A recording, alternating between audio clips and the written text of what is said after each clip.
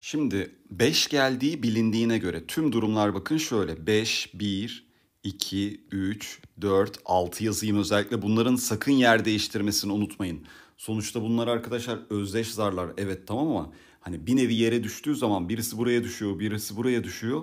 Sonuçta farklı bir durum oluyor. O yüzden burada sıra kesinlikle önemlidir. 1, 5, 2, 5, 3, 5, 4, 5 ve 6-5 olduğunu da unutmayın. Bir de son olarak 5-5 olabilir. Toplam o zaman tüm durumlar 11 oldu. 5'in geldiği.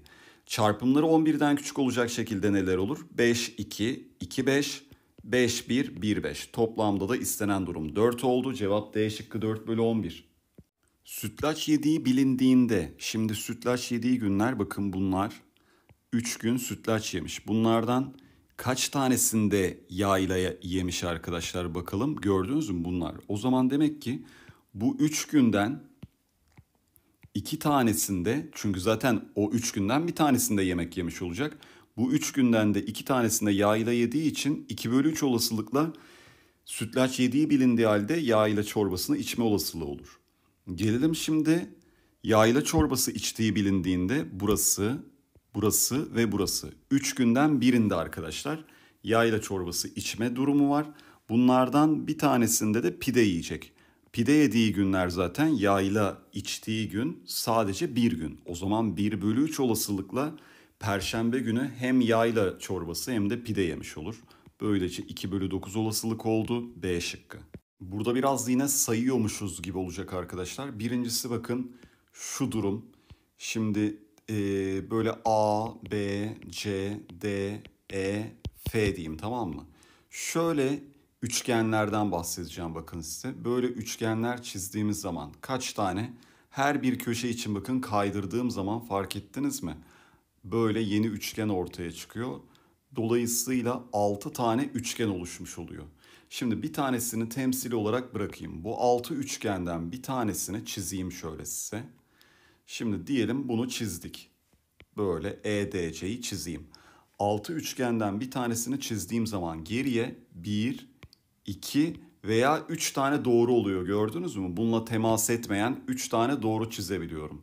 Yine şöyle gösteriyorum bakın. 1, 2, 3 doğru çizebiliyorum. O zaman 6 üçgen için 3 tane buna temas etmeyen doğru çizdim. Bu birinci durum. İkinci durumda arkadaşlar şöyle göstereceğim size bu sefer. Yine bu sefer tabandan gideceğim. Tabanı ED olan, DC olan, BC olan, AB olan, AF olan veya FE olan üçgenlerden bir tanesini çiziyorum. Örnek bu. Bu sefer bakın deminki gibi değil böyle bir üçgen. Bu üçgenden yararlanarak şimdi artık çizebileceğimiz bununla kesişmeyen doğrular. Bir tek bunu bırakıyorum. Yine böyle 6 tane üçgen oluştu çünkü 6 kenar var. Bu sefer tepe noktalarını kaydırmadım, kenarları kaydırdım. 6 üçgende arkadaşlar buna temas etmeyen doğru kaç tane çıktı? Bir bakalım şimdi. Burası çıktı bir tane. Aynı AF kenarını kullanarak bakın bir üçgen daha yapacağım bakın şimdi şöyle. Bu da böyle kırmızı olan olsun. Bu sefer buna temas etmeyen hangisi oldu arkadaşlar? BC oldu. Şimdi bakın AF kenarını kullanarak aslında bir kenarda iki tane üçgen elde etmiş oldum. Yani o zaman 6 kenar için 12 üçgen elde edeceğim ve bunlar için sadece bir tane temas etmeyen doğru çizebiliyorum. Toplamda o zaman 30 durum oldu. B şıkkı. Faktöriyellerde arkadaşlar çarpanları aslında tahmin etmek zor değil. Çünkü 2, 3, 5, 7, 11. Maksimum arkadaşlar asal çarpanlarımız en az 3 tane olmak şartıyla o zaman 2, 3, 5 olabilir içinde.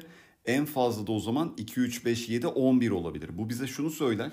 Zaten faktöriyellerde 2, 3, 5'i içeren en az hangisi var arkadaşlar? 5 faktöriyel var. Bakın şimdi 7'yi içeren en az 7 faktöriyeldir. 11 içeren en az 11 faktöriyeldir. Haliyle burada dikkat etmeniz gereken şey sayın 11 faktöriyelin içinde tonlarca 2, tonlarca 3, tonlarca 5 var ama sonuç olarak için içinde 11'den daha büyük bir asal sayı yok. Çünkü 11 burada asal sayı olarak en büyük sayı.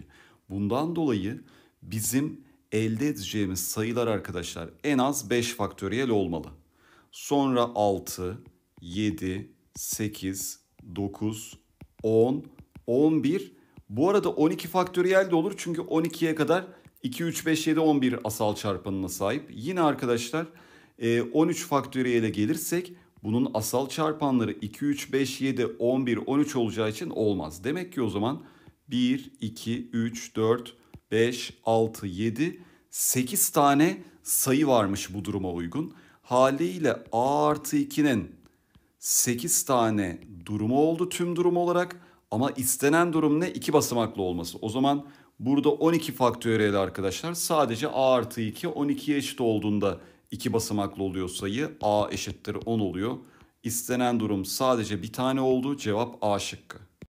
Burada arkadaşlar 7 noktadan 3 tane nokta seçersek normalde 7 çarpı 6 çarpı 5 bölü 3 faktöriyelden 35 tane durum olur. Ama doğrusal olan 3 noktadan üçgen geçmeyecek. O yüzden burada bakın 3'ün üçlüsü bir durum.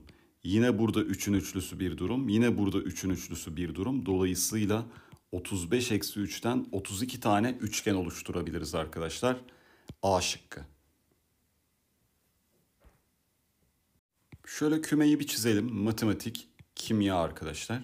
%30 matematikten, %40'ı kimyadan, %30'u hem matematik hem kimyadan başarılı olmuş. O zaman buraya 10x diyelim. Sonra buraya 20x kalacaktır. 40x olduğu için de buraya da 30x olur. Tüm sınıfın arkadaşlar, tüm sınıf şöyle 100x olması gerekiyor %100 sonuçta. 40, 20 daha 60 o zaman burası da 40x oldu. Seçilen bir öğrencinin kimyadan başarısız olduğu bilindiğine göre ne demek kimyadan başarısız olan öğrenci arkadaşlar?